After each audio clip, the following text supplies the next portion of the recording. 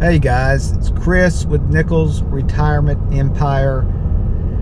Well, you can see I'm riding down the highway of life right here. We are in traffic, or I am in traffic in Atlanta, and uh, I'm going to do a video. Got plenty of time right here, why not? I'm going to do a video on why teachers quit. This is my second installment of why teachers quit, administrators help.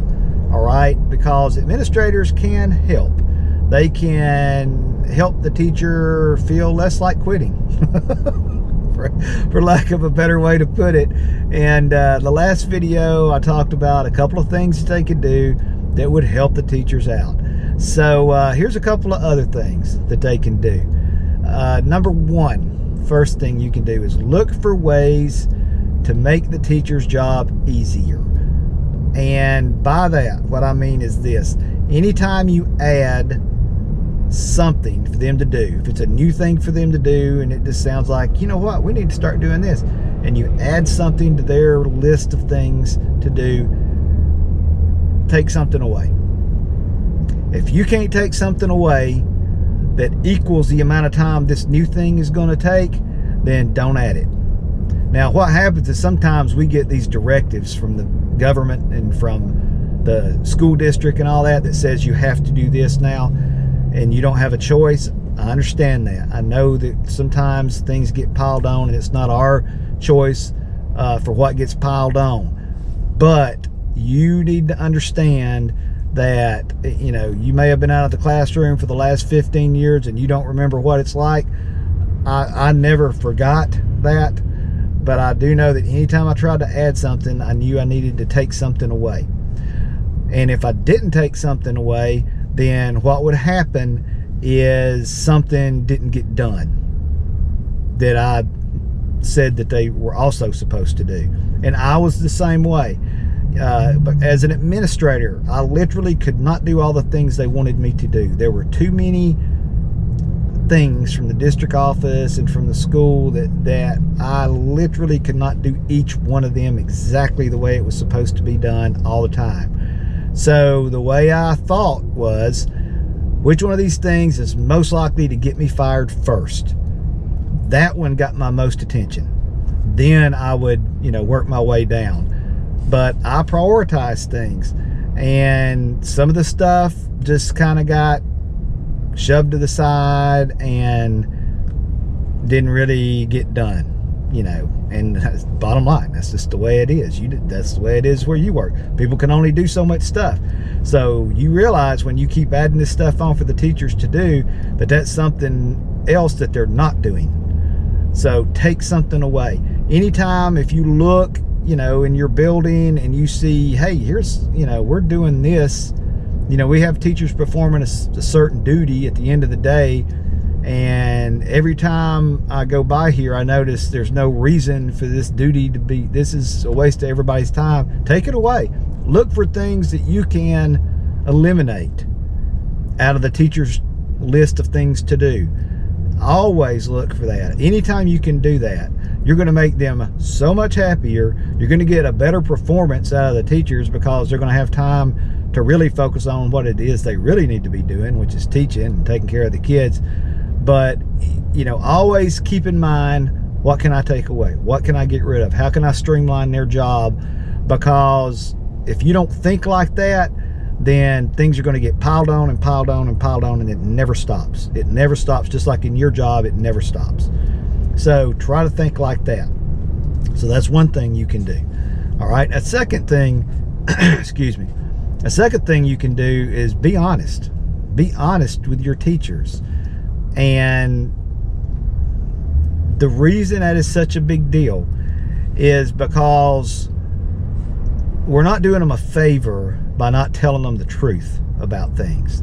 For example, you know, if you're doing observations and or you're not doing observations, say you walk by their room just you know, for whatever reason, you're there to pick up a kid or whatever, and you see something going on, and you're like, man, that I don't have time to address that right now with you, but if I was doing an observation, you'd be in trouble. Tell them. Don't what don't avoid that conversation, Uh, you don't have to write them up. You don't have to, you know, whatever. You may want to document it for your purposes, just so you remember that you did it. But uh, tell them, you know, let them know. Uh, I, I got an issue with this. I got a problem.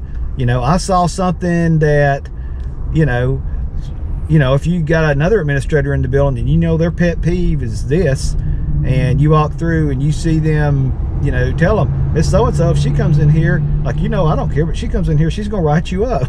tell, be honest. You know, don't keep it a secret. You know, I told Mikey, it's just like your discipline code when you're a teacher. You, you don't want to have a secret discipline code that the kids don't know or don't understand. Let them plainly know exactly what it is you expect. And if they don't do it, always address it.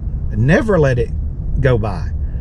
And, you know, if you don't do it that way, what's going to happen is you got a problem with this teacher, and then two months down the line, when you start doing observations and you've been in their room 15 times and everything was great, and then you get to the observations and you start, you know, giving them bad observation scores, they're going to want to know, well, why'd you come in my room 10 times before and it was all okay?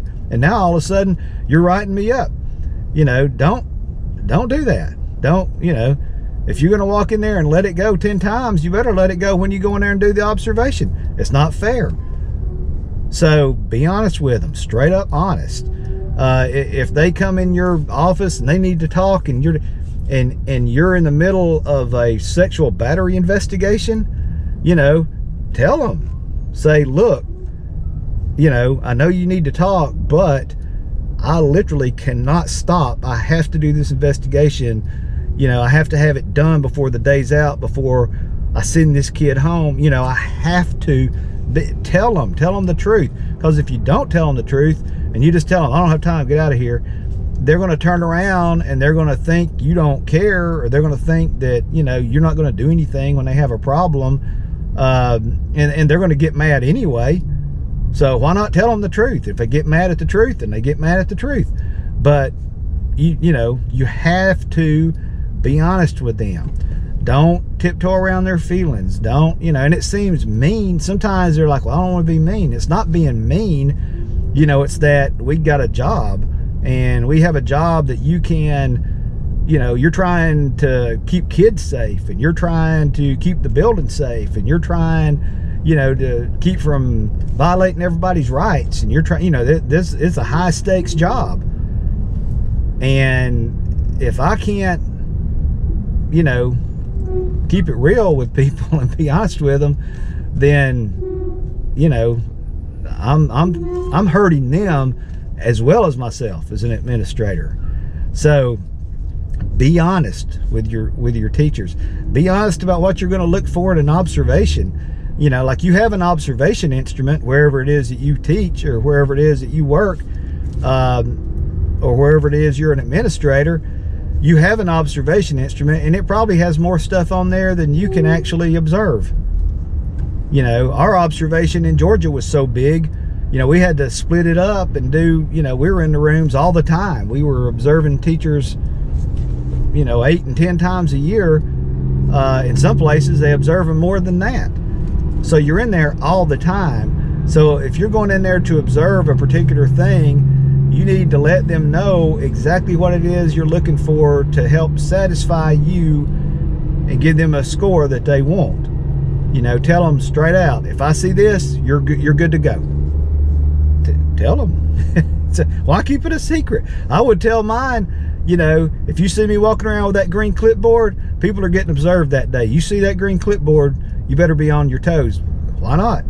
You think they don't figure stuff like that out? Be honest with them. Tell them, you know, you see me with this clipboard right here, you know, or, you know, you see this. If you see me do this, then I'm probably doing that. You know, I, I would tell them, you know, don't expect them to read your mind. Don't expect them to just know what it is you want. You know, tell them. Be honest.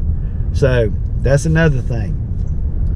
And eh, kids are the same way in the classroom, they want to know exactly what the rules are and what you're going to do about every time they do. They want to know where the line is. Where's the line? What what's okay for me to do and what's okay not for me to do, or what's not okay for me to do. They need to know that. It helps them understand what their position is in that classroom. So you are the same way as an administrator. Help the teacher know where they stand with you. Help them know what it is they need to do to keep their their job because you want them to keep their job because you don't want to have to hire somebody else. You want them to be successful because if they're successful, kids are learning. So help them be successful by being honest with them. All right, guys. Um, I think I'll stop at those two. And if you like the education videos, if you're one of the people, and most people on my channel probably are here for that. I know I do fishing and I do all these other things. You know, if you don't like those, don't watch them. That's fine. But if you're here for the education videos, I do have a playlist for the education videos, and there's a playlist called, if you look on my YouTube channel, called The Last 45 Days. And that was the last 45 days that I was an administrator, that I was still working. And when I got down to my last 45 days, I did a video every day for uh, for YouTube for my last 45 days. And some of those are pretty funny because it is like in real life time. You know, it's it's it's it's while I was still working. So uh, if you like these videos, go back and watch those. You'll kind of get me during my actual real working time, not like now where I'm sitting in traffic. So watch, go back and watch those. And uh, thanks for watching, guys. And, and if you're a teacher, uh, you know, don't don't quit if you can.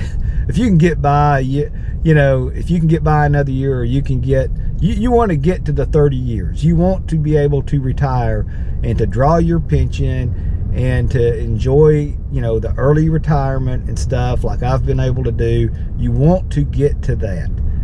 And I know, you know, it's about impossible now, you know, compared to the way it used to be. But there are still lots of people that can teach and that can go through and they know how to navigate the system and they know how to deal with the kids and all that kind of stuff. And uh, i do want to encourage you know if, if you can keep at it don't quit. Uh, and some people just they just can't. They have to stop. And i understand that too. There's lots of those. So either way you guys have a good day thank you for watching nichols retirement empire and uh, I'll see if I can get out of this traffic. This is ruining my retired retirement right here. This just this right here. see you guys later. Bye. GoPro, stop recording.